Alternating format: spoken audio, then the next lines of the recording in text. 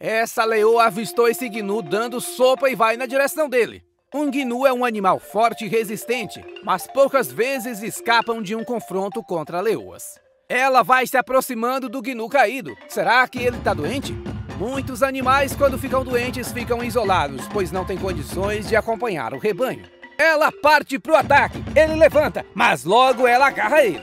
Uma leoa esperta vai sempre tentar agarrar o pescoço de sua presa, pois essa é a forma mais usada para matar um animal. O gnu tenta escapar, mas a leoa segura ele com tudo. Um gnu pode ser resistente, mas uma leoa é muito mais forte. É capaz de derrubar até mesmo um búfalo, um animal grande e pesado. Ele agora vai ao chão. A leoa sufoca o gnu, Poucas vezes uma leoa está realmente só numa caçada.